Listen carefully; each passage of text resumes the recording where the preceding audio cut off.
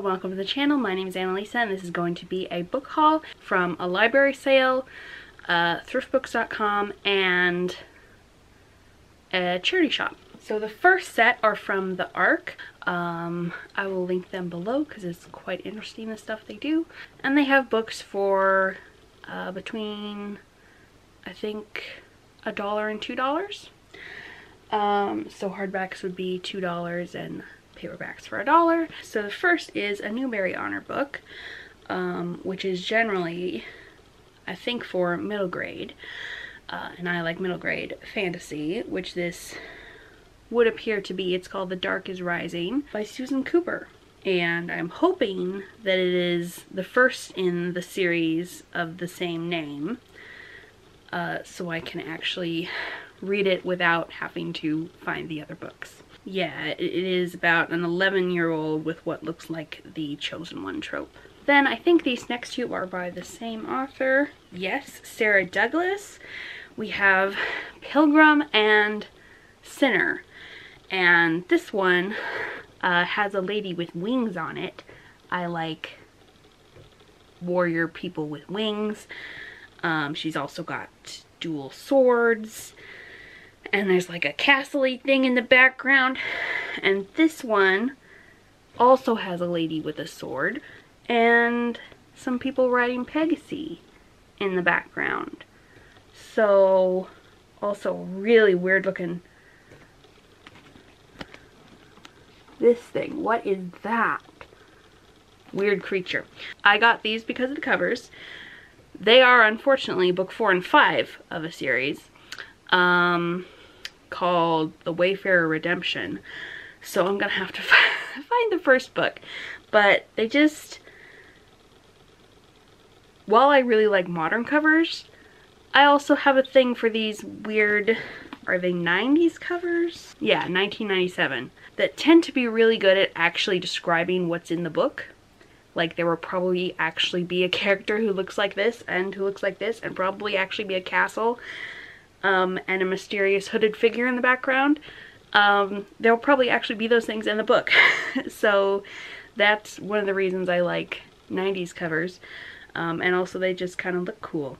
And it is always also nice to find a completed older series so that you can like read it all at once. The last one I got from the ARC uh, was Eloquent Rage by Brittney Cooper, which I have already read via audiobook. Um, but it is the sort of thing that you might want to highlight and reread. And generally, I just remember really enjoying it, so it is something that I would like to add to my library. The subtitle is A Black Feminist Discovers Her Superpower, so that's that's kind of what what that's about. I discovered thriftbooks.com, which I've heard of before, but um, I've like searched up individual books that I might want, which is what I do with like other bargain sites like um, Better Books. And so uh, like Talia Hibbert's work, the rest of Helen Hoang series, that kind of thing. And those were like normal prices. Um, but after I got discouraged, I left the site and then I went back and decided to give it another go and just search the deals. So like their special section is $3 per book and there's like 51 pages of 30 books each page. So I just went through the whole thing and found seven books that I really, really wanted. I found like 12 that I would kind of like and want to try, but $21 was more around my budget. Um, so I ended up buying seven. So the first one was Beyond the Gender Binary by Alok Vaid-Menon. This is a pocket change collective book, which I think is a penguin thing. Yeah. Um, so it's itty bitty, but I've been trying to add more trans and non-binary books to my repertoire. I think this will be a nice little book to have. And if I don't feel like keeping it, this would be a very um, good book for my local free little library to have. Um, it's a little bit damaged, which I don't think any of the other books I got from thrift books are. It's got this little tear at the top, but um, yeah, everything else was in perfect condition. And it's understandable that this would be the torn one because it has a, a carb or a paper cover. Then I got a few that I have already read, such as, I love to hit myself in the glasses with books when I hold them up. Uh, Ellen Outside the Lines by A.J. Sass. This has both autistic and queer up in it. it. Is by an autistic queer author. And I thought it was really good when I read it. So, and I also think that I forgot this existed and didn't include it in my most recent autistic books video. So It'll have to go in my third one. It also has a nice pretty pastel blue spine, so I think it'll go right in this shelf, this rainbow of um, fair amount of queerness shelf. Oh, and the main character is Jewish too. I don't know if the author is, but that's a thing. Dauntless. I don't remember where I heard of this. It's by uh, Elisa A. Bonin. And I don't remember much about it except that this cover was very familiar. So I was sure that I had heard about it and wanted to read it, but that my uh, library didn't have it. Oh, speaking of which, I left one of the books for this haul out in the living room because I wanted to read it right away. I think both of these people on the cover have bow and arrows, which I like. It looks like they hunt magical creatures. This is another one where the cover made an impression on me. I remembered it and I remembered that my library didn't have it. Uh, when Life Gives You Mangoes by Kereen Getten.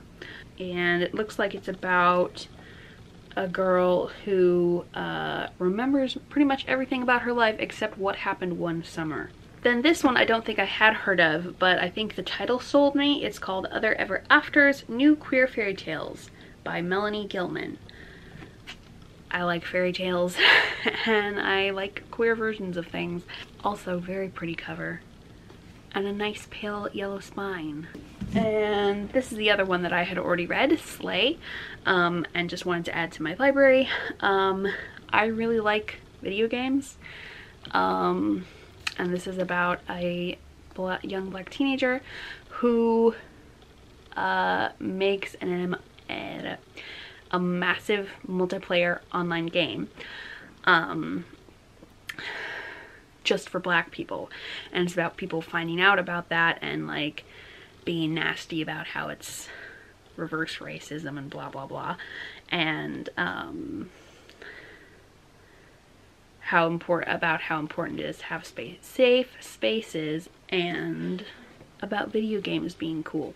The other one that I got that's in the other room is A Strange and Something Endurance. This book I have heard, and the author very nicely puts in trigger warnings that say that there's on-page um, depictions of rape in this book, is usually an absolute no for me. Um, I prefer to be off-page uh, if um, the author wants to talk about that kind of thing it's even more important to me to know that that's going to happen going in. Being surprised by it is very bad. With knowing that ahead of time, I can probably figure out when it's going to happen and skip that part. But um, the reason I want to read it is it is a fantasy romance with the arranged marriage trope, I'm pretty sure. Um, and a lot of the romance revolves around healing from trauma, all of which are very much my things. So I'm going to try it carefully and see. This is another one that I really wanted to read, but but my library didn't have it, and I didn't want to pay full price for it, especially when I wasn't sure if um, the content was going to be too much for me. Uh, from the library, I have much lower standards for picking things from a library sale because the paperbacks are 25 cents um, and the hardbacks are a dollar. So I got The Thief and the Beanstalk by W by P.W. Catanese. Um, and it says, this is not Jack's Beanstalk. And it's a middle grade. I have not actually read very many Jack and the Beanstalk retellings um, or expansions. I just know the basic story and I've seen like movies and shows depicting it. So that should be interesting. Then I got another one that I've already read, The Key to Rondo by Emily Rodda. I love Emily Rodda. Most of this shelf um, is by Emily Rodda. Um, but Emily Rodda is quite prolific. Um, and has written several other series besides Deltora, which is what this one is, including the Rondo series, which has an evil queen and ooh, hello. I forgot how creepy those people looked. Um Uncanny Valley warning. Uh a la cats. Yeah, that's don't like that. Um there is a cat person in this book. I don't imagine them looking quite like that. And the evil queen might be holding this dog hostage. I'm, I don't remember. I read it a really long time ago and I'm kind of excited to reread and like rediscover it because I do remember enjoying it. It's a portal fantasy kind of where these kids get sucked into the world of a music box. Like there's paintings on the side of a music box and it's like a real world that you can go into. But yeah, she has blue lipstick. I like blue lipstick. Tracks by Louise Erdrich. I was looking for anything by Louise Erdrich or Beverly Jenkins because um, they're both uh, relatively prolific. Beverly Jenkins more so because romance author. But yeah, I have read like three things by Louise Erdrich. Two of the Birch Barch Birch Birch Bark Birch Bark series and one um, like the Night Watchman. Um, and I thought they were all really good, so I'm wanting to read more Louise Erdrich. Oh, then I picked up the Pacific Northwest uh, travel guide. I thought this was a Rick Steves one, but it, now I'm looking at it, I don't think it is. It was right next to a bunch of Rick Steves one that looked just like it. Um, but apparently not. Basically, I live in the Pacific Northwest and I would like to do more road trips. Um, and so I'd like to know if there's anything interesting uh, nearby that like I haven't seen um, because I have only been to a few places in my home state. So this might help me plot out a couple road trips. Then another middle grade, Sword of Waters, which is book two um, in the Shield, Sword, and Crown series, which looks like might have something to do with like a card deck, like tarot but different. Ah, then I am currently reading, currently working my way through very gradually, um, haven't read one for quite a while, the, the Amelia Peabody series by Elizabeth Peters. This is quite a ways in, but I kind of want to collect them so they're easier for me to actually pick up and read because um, I've had a big pause. But I really enjoyed the first two books that I have read so far. Actually, I might have read three books, the first two and then one farther in this series. I just kind of skipped ahead because that one was available. I really like the character of Amelia Peabody. Um, it's a bit colonizery because this is uh, set when the British had like were coming out of colonizing Egypt so they were and they were like continuing to appropriate cultural artifacts. So our main characters are English archaeologists and there's some stuff about how the Egyptians aren't taking care of their artifacts so we better you know yoink them over to England to an English museum instead of a Egyptian one. Um, so that's a bit icky. Um, but mostly they're mysteries and mushy characters being adorable. One of my favorite lines ever is from the first book in this series um, and it's about um, women friendships and um, wouldn't it be great to be old cat ladies together and not have to even worry about getting married? Yes, it would.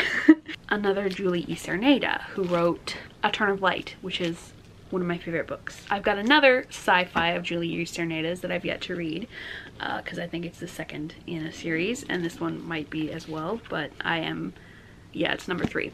I am gradually collecting Julie E. Czerneda's um, because I expect to really like them. And I've gotten all of them so far from library sale, so they're cheap. She can write a super slow plot, but I won't care because I'm enjoying myself so much. Ah, China, Land of Dragons and Emperors. This is a nonfiction by Adeline Yen Mah. Does anybody recognize this font? of the titles. I'm fairly certain that's the font they use for the Avatar The Last Airbender titles. I learned almost nothing about any non-European, uh, non-US history in school because I go to school in America. Um, and granted, I was homeschooled um, with the Christian curriculum, which wasn't as bad as it could have been. Because, um, for example, uh, Rachel reads, of Reads with Rachel had a significantly worse time of learning history than I did. From what I've heard, it's pretty common in, in American schools to not learn the history of, say, South America or Africa or Asia because it's all so Eurocentric and North America after it's colonized. Interestingly enough, I just read Zachary Ying and the Dragon Emperor, which has a lot of history of China in it.